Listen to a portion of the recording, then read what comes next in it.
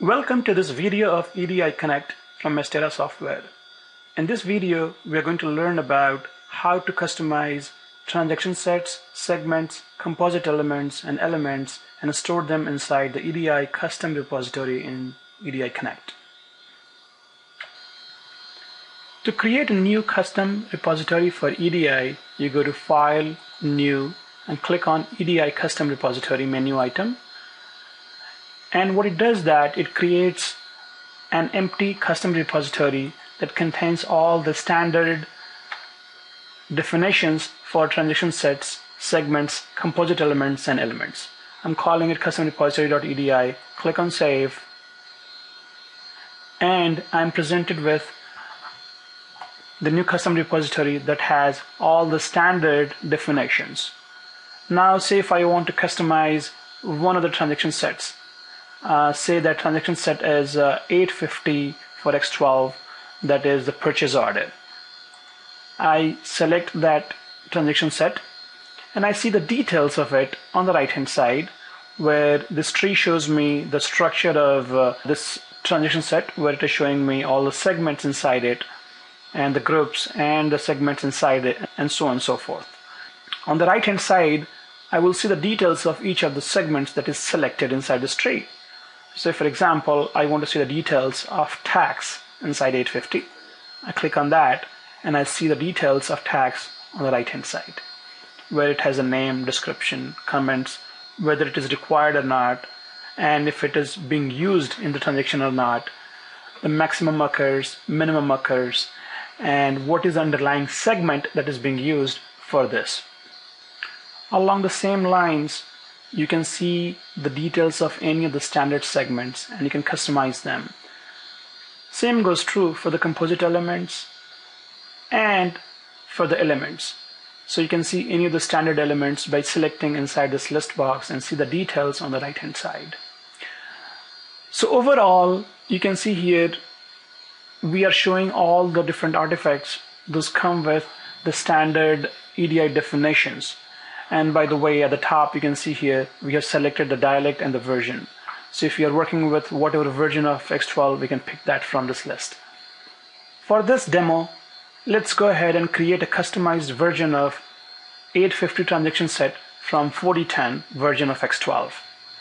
For that, I'll go to the version combo box and select the version 4010 and I'll go to the transaction sets select my purchase order of 850 now whatever I'm seeing on the right hand side is the standard definition of 850 let's see how we customize it. So there are several options to customize it and it depends on what are your requirements. For example if you want to just add one new segment inside this transaction set you can do a right click and say hey add a new segment. Or you can add a new group or you can delete any of the existing segments from the transaction set or you can pick any of the existing segments and modify their properties such as uh, if I go to the segment I can see here the min occurs is 0 and max occurs is 20 for some reason, my partner requires me to change the max occurs from 20 to 25. I can do that and save it as a new customized version of 850. So that goes true with any of the properties here. You can make a change. As soon as you make that change and save it, a new version of 850 will be created. For this example, let's go ahead and add a new segment to 850. So I click on add segment and I'm presented with all the segments. Those are available for adding into transaction set. Let's go ahead and add the request validation segment inside this transaction set. I click on OK and I see that it is added at the bottom. But since it has to be within ST and SE, let's move it up.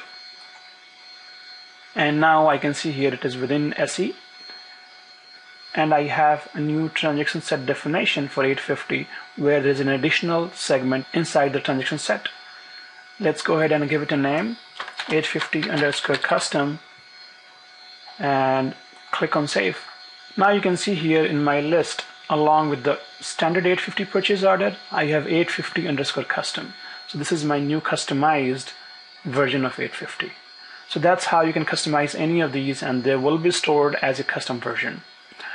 Now you can do much more than just adding and deleting uh, segments and modifying their properties.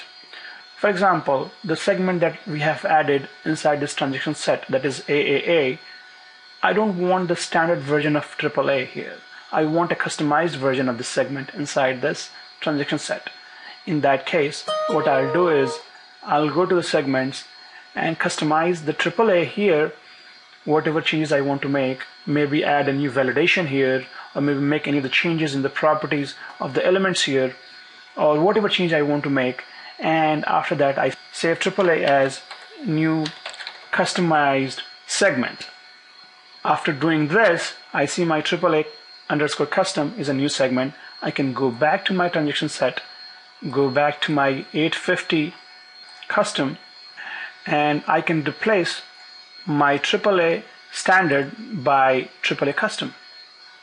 So as you can see here, you can go to any level. You can go to elements, you can go to composite elements, you can go to segments, customize them and use them inside the transaction sets.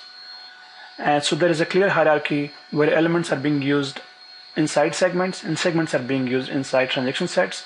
So this is how you customize the elements, composite elements, segments in transaction sets inside EDI Connect. Once you do this in your trade partner profile, you can use your customized definitions of transaction sets. Thanks for watching this video.